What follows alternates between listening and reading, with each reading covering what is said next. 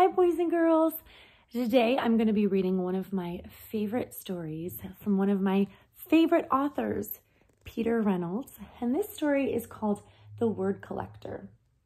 And look at all of the beautiful words on the front cover.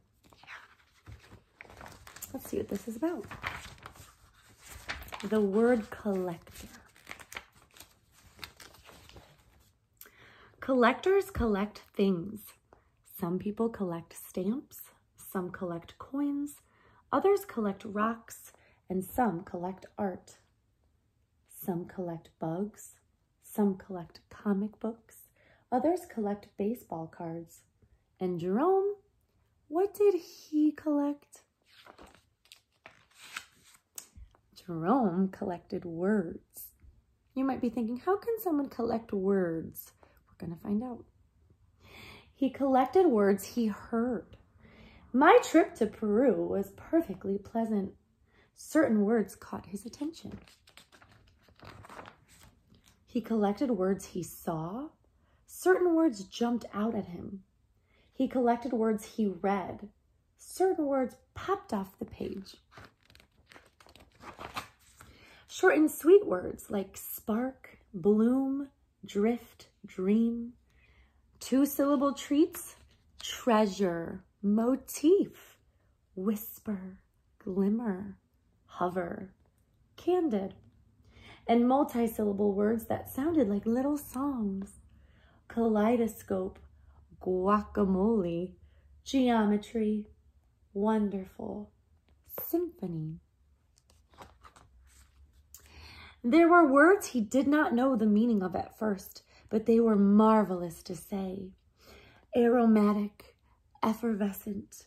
There were words whose sounds were perfectly suited to their meaning. Molasses, smudge, bellow, torrential. Jerome filled his scrapbooks with more and more of his favorite words. Jerome's collections grew. He began organizing them. Dreamy, science, sad, action, poetic.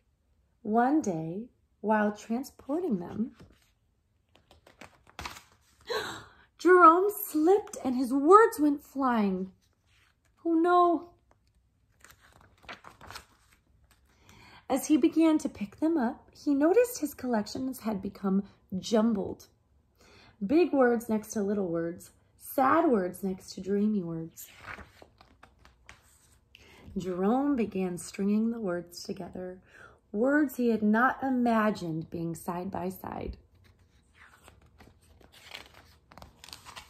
He used his words to write poems.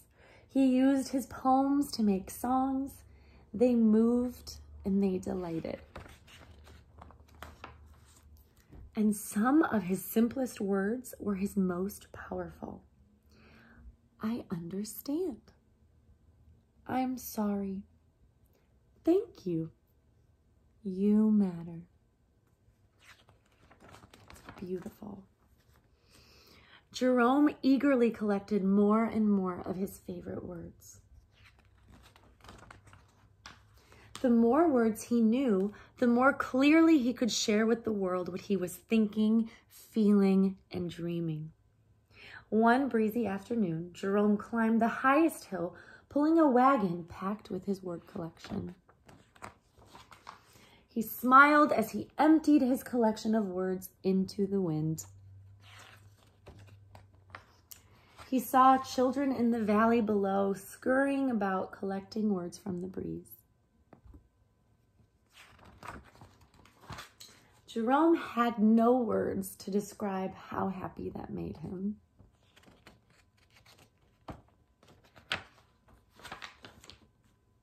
Reach for your own words. Tell the world who you are and how you will make it better. Peter Hamilton Reynolds. The end. Thank you so much, sweet friends, for listening to this story with me. And Mrs. Mercer absolutely loves words. I love learning new words every single day. Um, so maybe today it might be fun for you to, maybe you're listening to a song on the radio or you're watching a new movie or listening to your mom and dad talk or someone you love have a conversation and listen to the words they say and maybe make a list or maybe just note which words sound so cool or different.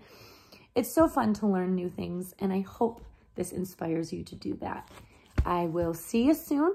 Thanks for spending some time with me.